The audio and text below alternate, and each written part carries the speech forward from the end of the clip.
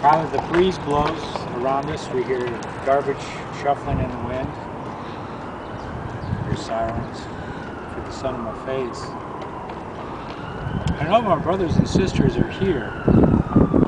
Know they live in this city. That this is the place that some of them call home. This spot, this this building, shelter. Father, they're not always a good place to be.